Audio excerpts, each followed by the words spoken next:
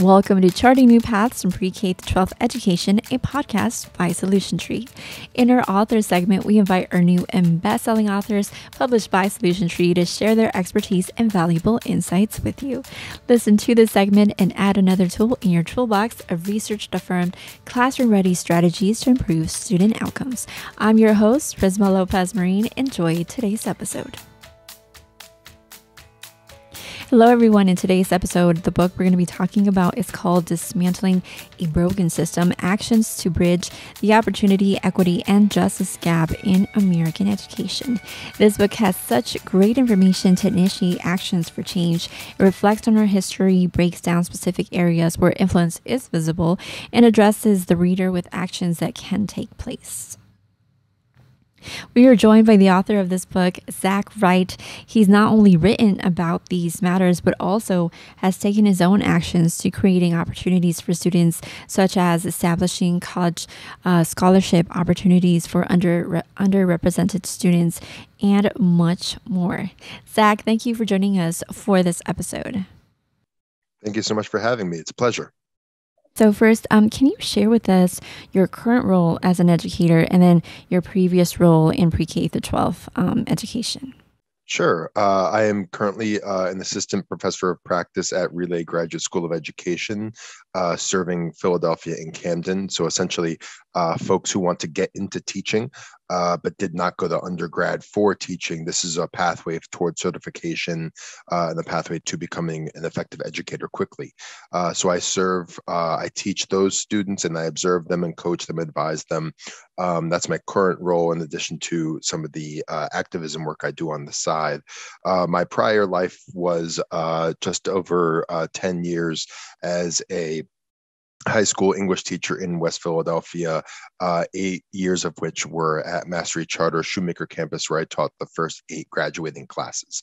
Um, and that's where I really cut my teeth as an educator and learned so much from those students and those families and that community uh, in general. Yeah.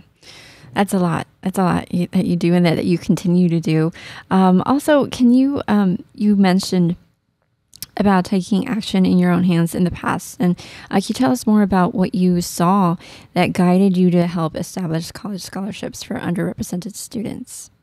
Sure. Um, so I went to the University of Vermont, uh, and it's a place that is very special to me. Um, met my wife there, met some amazing people there. It's just it's a very special place to me. And um, when I was teaching, I just had the idea like, what if UVM uh, was an option. And um, it all started with an email. And the first couple years, I would take uh, a van load of students up to Vermont, and we would drive up there, and they would spend two days there, kind of as students, um, kind of getting the lay of the land and and and seeing what it would like to be a student.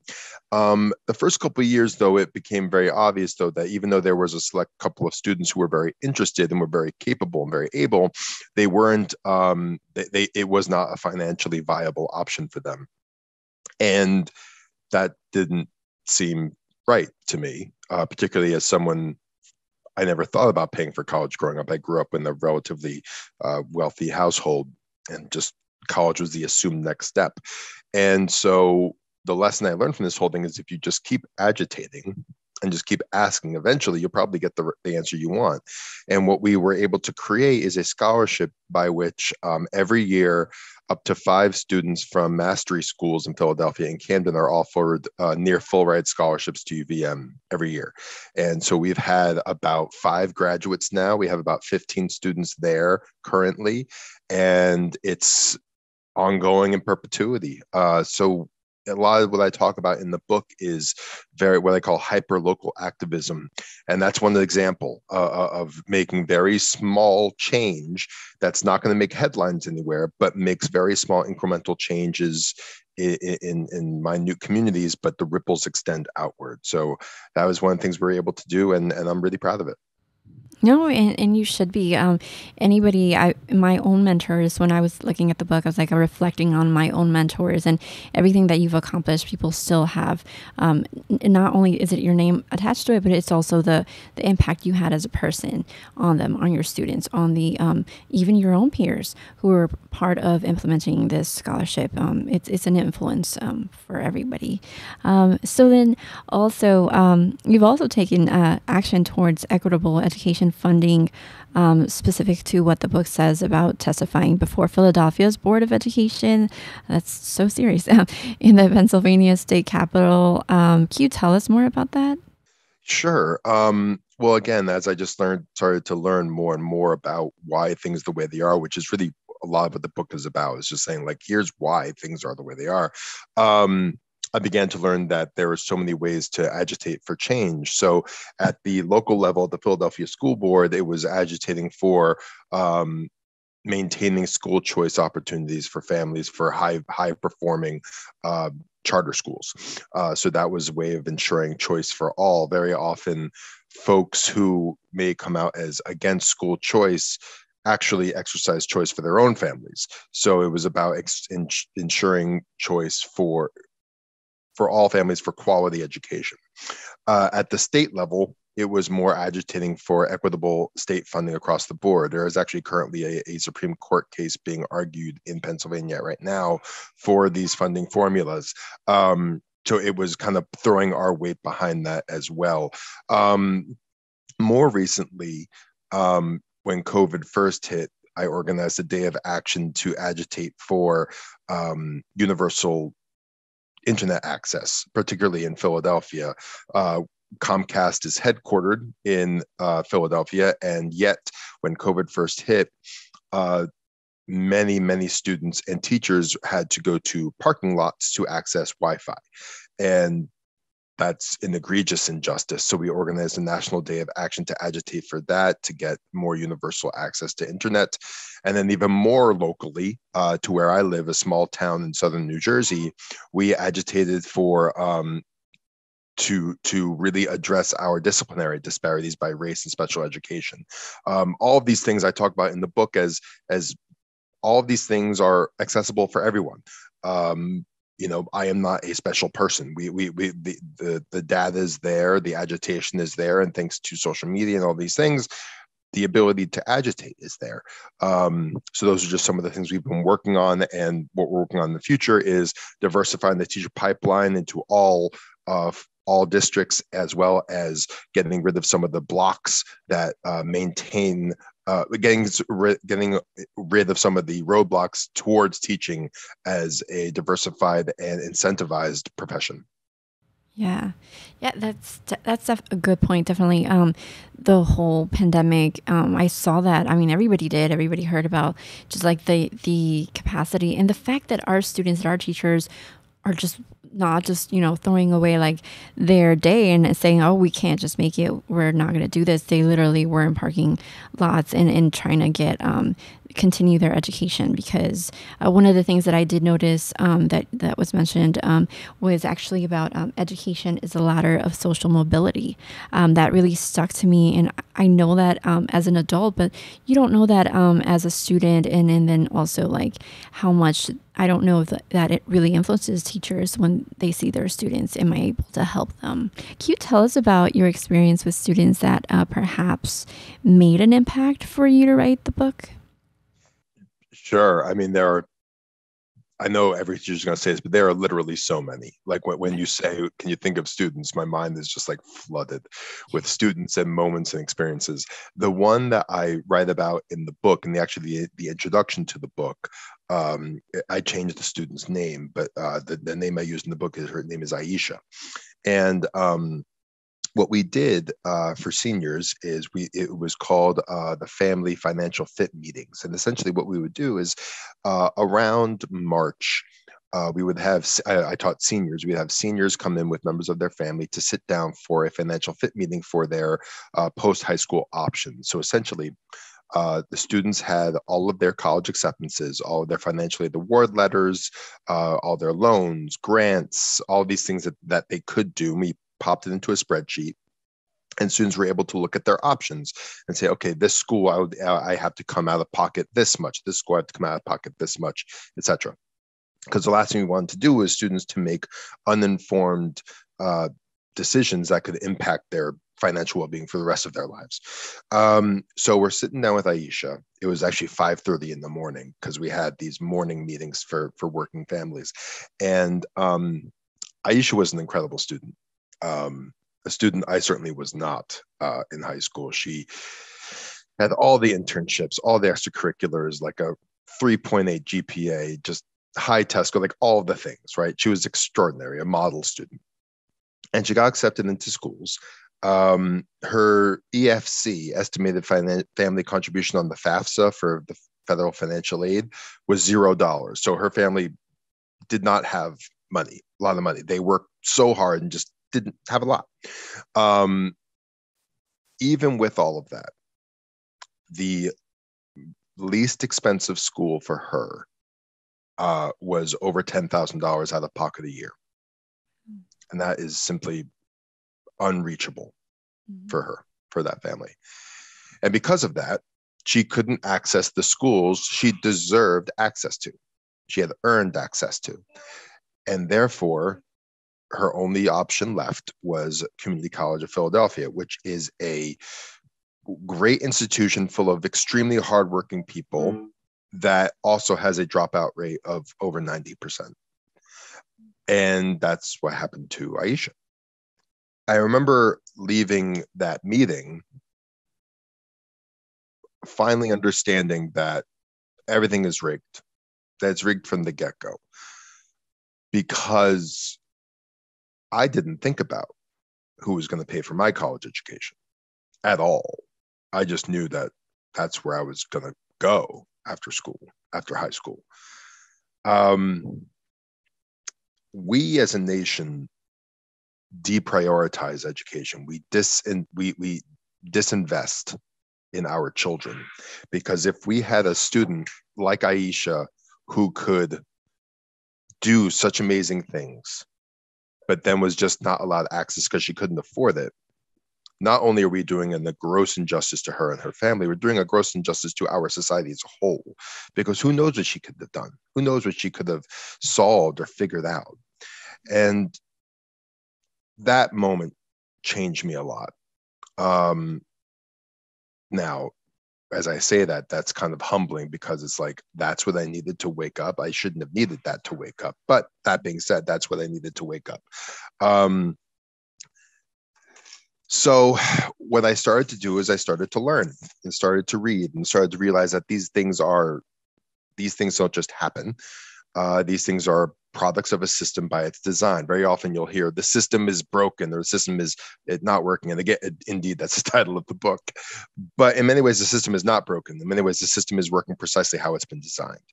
And when we think about that and we look about how these things, why things are the way they are, which is what the book goes into, then we can start thinking about okay, if this is how things are the way they are, what makes them so, then here are some of the ways we can work to change them and that's what uh, a lot of the book is about as well. Wow that's that's very true. Um, i like that um, reflection for of the student. I know like you said you have so many and you did meet so many different um, stories different backgrounds but certainly um, there's resonation in the influence that that provided for you um, as an educator, as a as a individual person.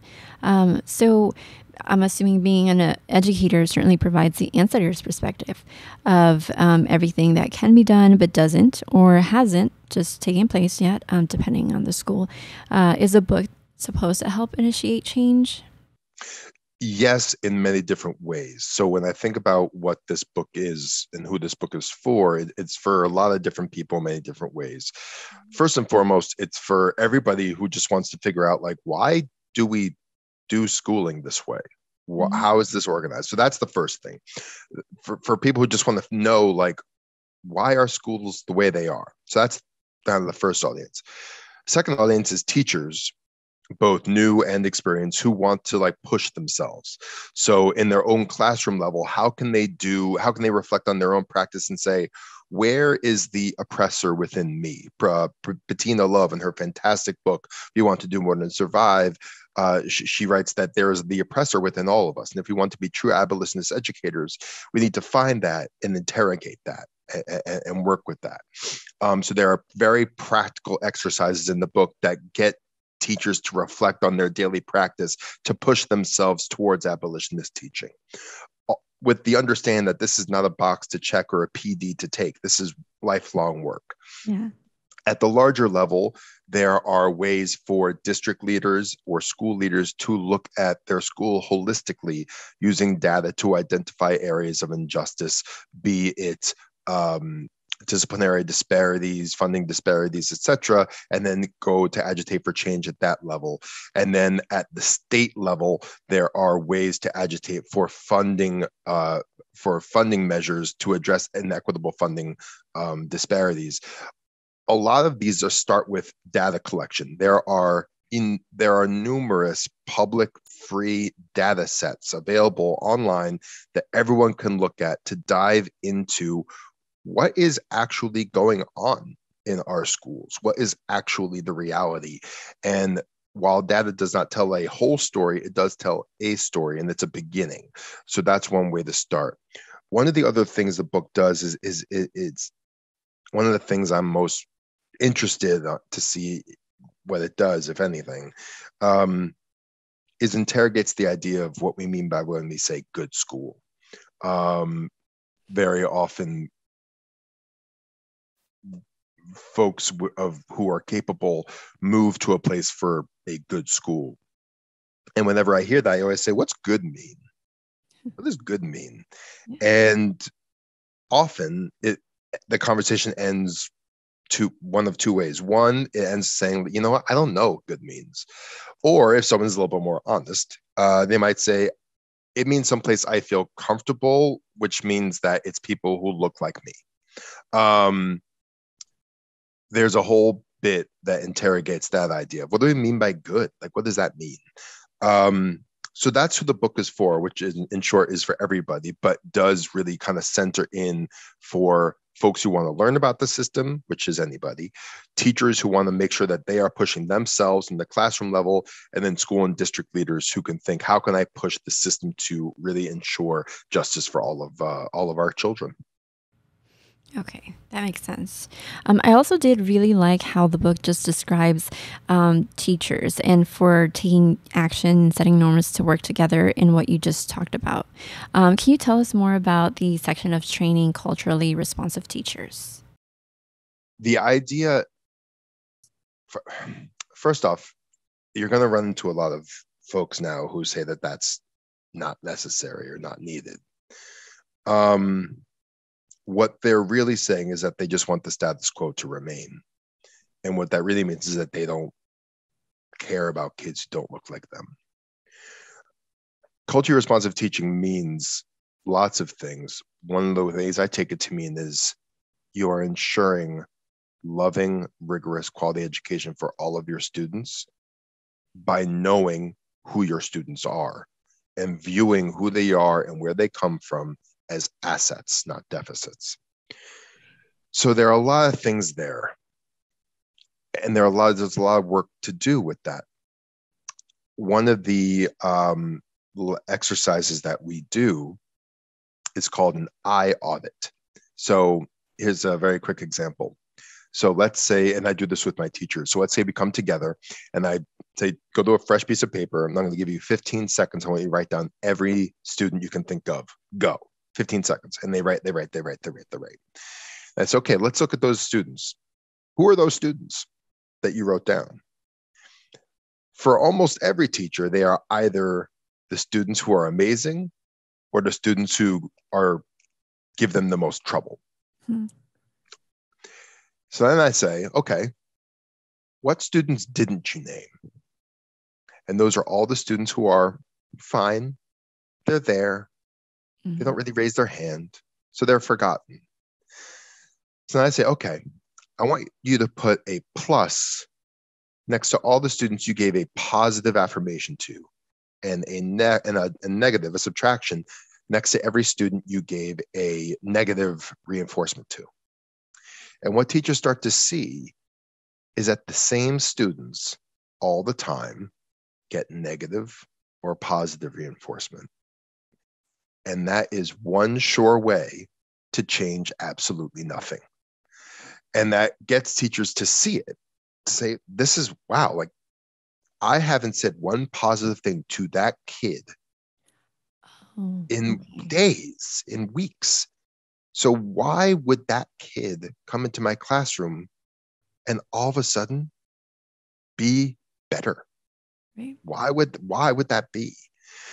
That's one of the many examples you go through in the book. They're simple, but what they do is they illuminate things. They get mm-hmm. you to pause and step back. And one of the reasons that's so hard for educators is because they have a million and one things to do and no time to do them in. So it's hard to take this time. But when you do that, you start to see the things, and the things are obvious. And then you can start make daily changes in, in your practice that can really, really make huge impacts. And and I often I always tell my teachers this, and it's from Lisa Delpit, Other People's Children. Um, every child in front of you is not is just a student. That's a part of their identity, but they are someone's baby. Right. They're someone's baby. Yeah. And if you forget that, you have forgotten the core humanity of education. I'm a parent. I have two boys. I never want my their teachers to forget that they are my babies. And I am a loving, supportive parent and a partner with my school. But as soon as any injustice happens, like the papa bear and the mama bear is going to come out as well they should.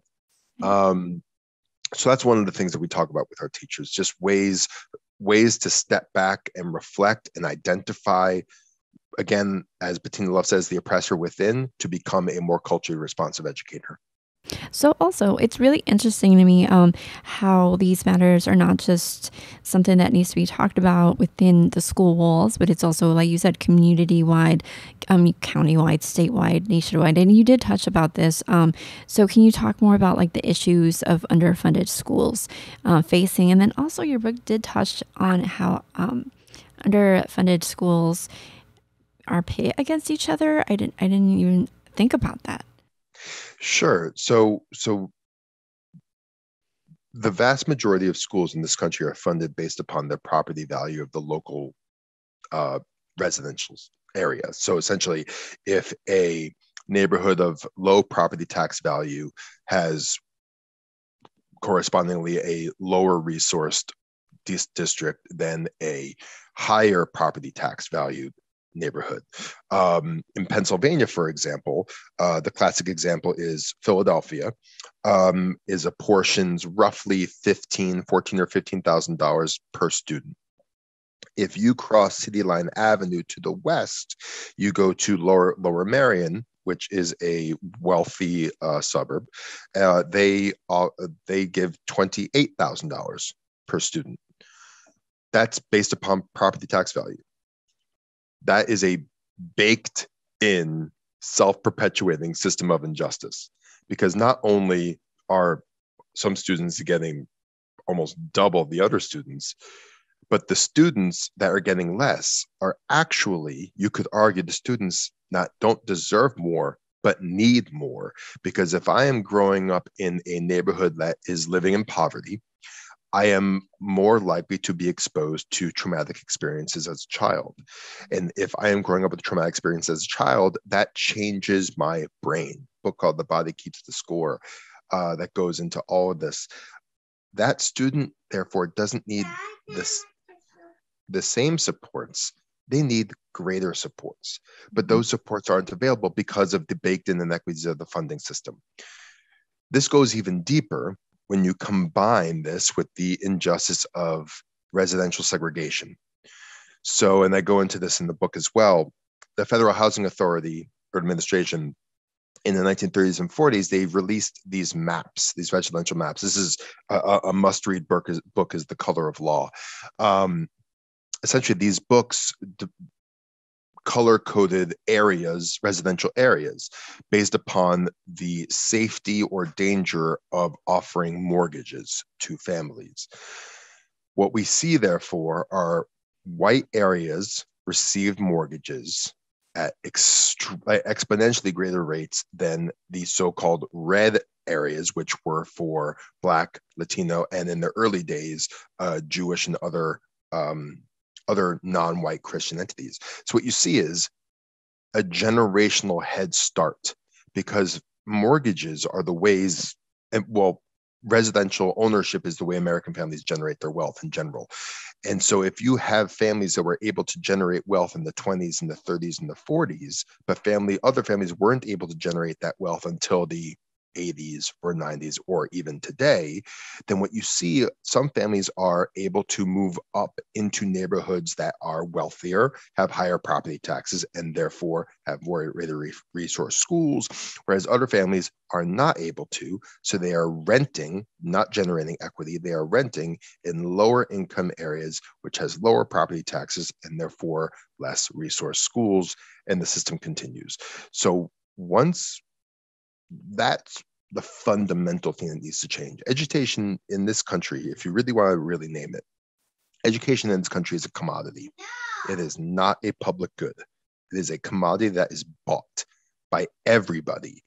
It is bought by everybody, not people who just go to private school or Catholic school, everybody. Because as soon as you look up a house to buy, you see square footage, you see bedrooms and bathrooms, and you see school zone. So you are buying access to the school. What that means is those you can those who can afford get and those who cannot don't. So when we think about the broken system, that's the fundamental thing that has to change. Um, and then just lastly, when we spoke before, you mentioned that an individual educator can certainly take steps towards uh, making an influence and then, you know, generating impact. I really like what you said, a tidal wave for change. Um, is this book for everybody, like you said, who aims for that change? Teachers, leadership, parents. Um, I was thinking specifically, like, I could definitely see parents looking at this book and being like, oh, like, this is um, a lot of things that are are these things being taken care of. And then also community wise like our like the education board um, and all of the people who um, a lot of these matters that you speak in the in the book are not just within the school walls. It's a whole it's a community. Yeah um this and i mentioned this in this book in the book this stuff can get overwhelming quick. And that overwhelmingness can lead to being paralyzed and just throwing throwing saying you know throwing your hands up in the air. There are three quotes i think of. One is from the talmud um, which which talks about uh, again I'm, I'm not going to be able to do it verbatim but pretty much says you are not required to see the end of the work but you are there but you are also not required to stop the work. You're not going to we're not going to see the end. We're not going to see the end of the of end of the end of the road but we are still obligated to walk it the other quote, another quote I think about is Malcolm X, uh, who said, "Sad." Again, paraphrasing. Sadness doesn't do anything. Mm-hmm. Anger does something. People don't do things when they get sad. They do things when they get angry. So a lot when I write this book, a lot when I was writing the book, some people were like, "You might need to tamp down the anger a little bit," and I was like, "No," because I want this book to be angering because that's when people do something. And the last quote I think about is Frederick Douglass. Um, in a perhaps apocryphal story, he was asked what by, by a young person, what should I do with my life? And his answer was agitate, agitate, agitate. And I take that to mean just don't stop. Right. Keep making a nuisance of yourself. Um, very often, especially with social media, you get the sense that if you aren't making headlines, you aren't making an impact. And that's not true. Uh, I'm a very strong believer in hyperlocal activism and that everyone has their own change to make and they can be minute, absolute minute change.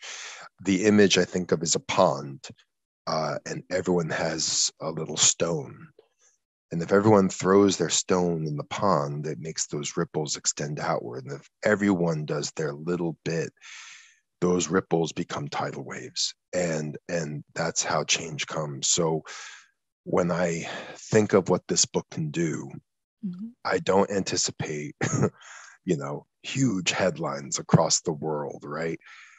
But if it empowers a couple of teachers, a couple of school leaders, a couple of parents, a couple of families to dive into some data, mm-hmm. find the injustice, and then agitate for change, then maybe we got some stuff going. Um, so that's the purpose. Absolutely, um, and it does it does serve that purpose uh, from what I've read, and, it certainly um, can provide that impact um, by by reading it, by participating in within the book with the reflective um, reflection questions, and then also um, sharing sharing this content, like you said, um, providing that this this book has that um, essence of wanting to ultimately, because this is for our next generations, our current, what we're doing currently now, and then as educators also, but um, th- this is for the future as well. Um, and like you said, I really like that. I've I I really I've never heard that quote before, but I, I really really like that uh, we are not going to see the change um, I, I hadn't really thought of that because we think we're invisible, we're going to be here forever, but we're not.